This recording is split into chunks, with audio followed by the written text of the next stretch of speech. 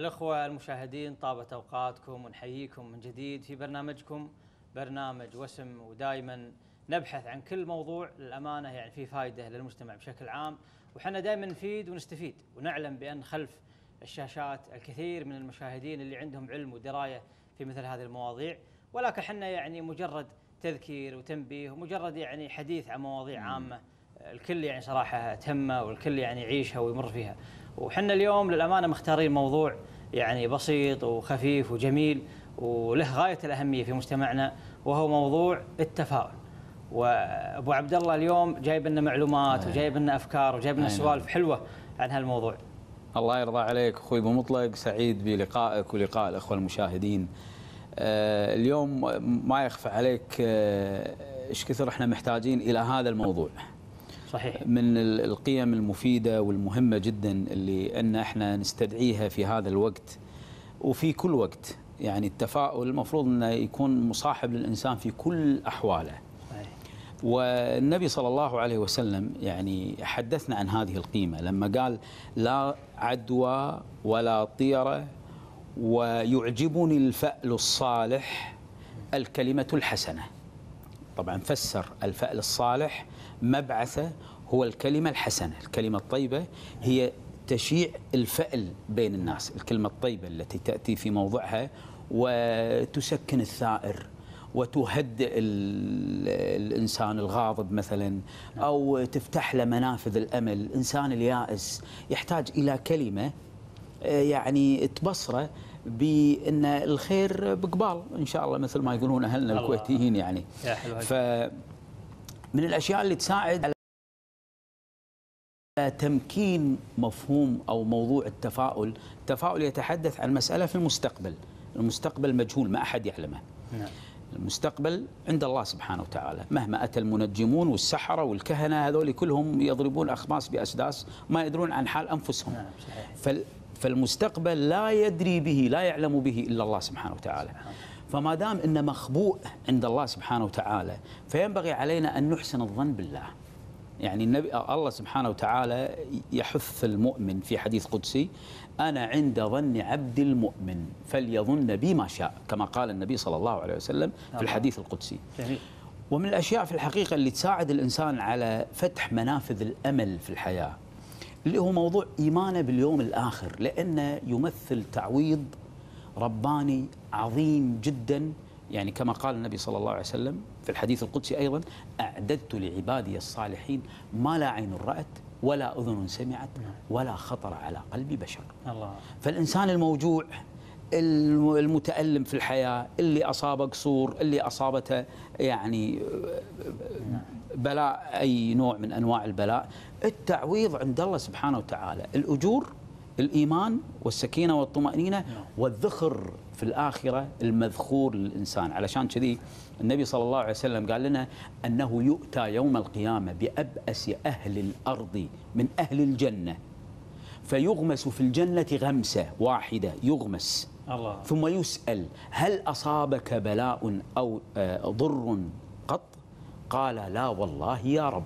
الغمسة هذه. نسيتها كل اللي طاف. الله أكبر. والنبي والله سبحانه وتعالى يعني النبي صلى الله عليه وسلم لما واجه الصعوبات آه، طبعا أعرض عنه أهل مكة حينما دعا آه، دعاهم إلى الله سبحانه وتعالى فما استجابوا له وأعرضوا فذهب إلى أهل الطائف ونعلم ما الذي أصابه عند أهل الطائف. هني الله سبحانه وتعالى يعني هدأ بكلمات حينما أنزل عليه قوله قوله تعالى والضحى والليل إذا سجى ما ودعك ربك وما قلى. وللآخرة خير لك من الأولى. علماء اللغة اليوم يعني لما تبصروا أكثر في هذه الآيات وجدوا أنها متطابق متطابقة مع احتياجات النبي صلى الله عليه وسلم من فتح منافذ التفاؤل والأمل. لأن الألفاظ أصلا هادئة الصور الموجودة في الصورة في السورة هادئة. الضحى هو أهدأ فترات النهار.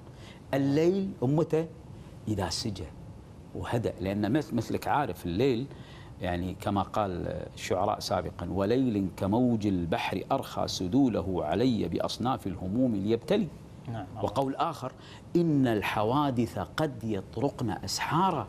صح ولا لا؟ بالليل تأتي البلاوي البلاوي وهاتف الليل تليفون الليل مفزع يخرع ما تدري إيش بيجيك فيه. الله فعلشان كذي الله قال ما ودعك ربك وما قلى ولا الآخرة خير لك من الأولى الله يا سلام يا أبو عبد الله هذا والله فعلا كلام يدعو فعلا للتفاؤل ويدعو للطمأنينة أي نعم. وحنا ما زال الأمانة عندنا يعني تعليق أكيد، وعندنا يعني شك. أفكار إن شاء الله أكثر أي. ولكن يعني عندنا هالفاصل الخفيف البسيط نعم. ونعاود إن شاء الله حلقتنا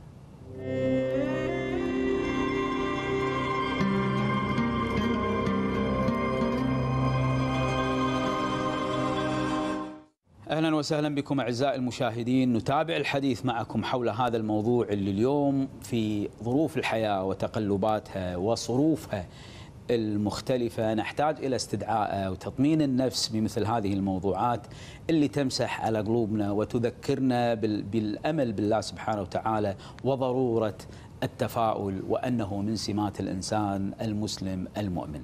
تابع الحديث معكم وأكيد أخوي أبو مطلق لديه الكثير حول هذا الموضوع فيا ريت تتحفنا في هذا الموضوع الله, مطلق. الله يعزك يا أي عبد نعم. الله إحنا لما نتكلم عن التفاؤل آه، نتكلم طال عمرك عن قضية الأمانة كبيرة جدا. أي نعم. وهذه القضية يملكها الإنسان.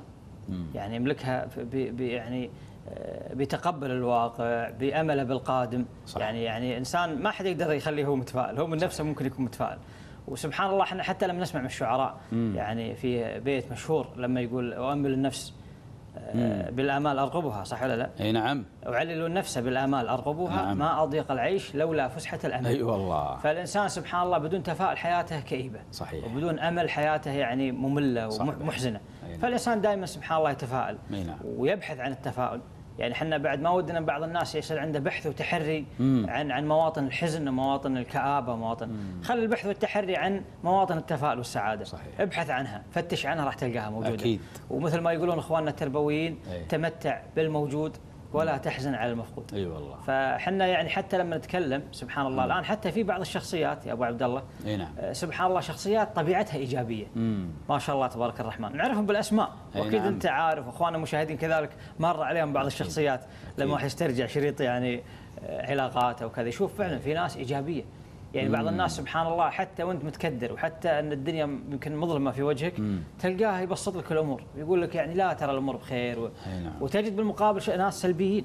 يعني حتى أن يعني كذلك المختصين التربويين يقولون اهربوا من الناس السلبيين واهربوا من الناس السوداويين والمحبطين.